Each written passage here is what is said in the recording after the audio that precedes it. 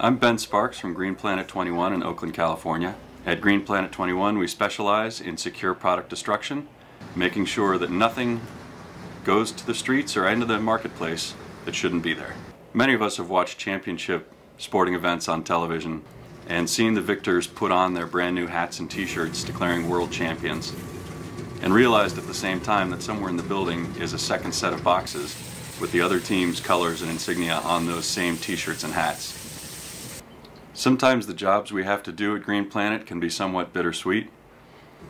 We all hope that our team will always win, but when they don't, we can still enjoy their season and understand that we're here to help our franchise in good times or in bad. Those hats and t-shirts and fan equipment, parade supplies, shouldn't be allowed to be sold on eBay the next day or found at the flea market down the street. So at Green Planet, we're lucky that our local franchise turns to a trusted local business to handle their product destruction needs.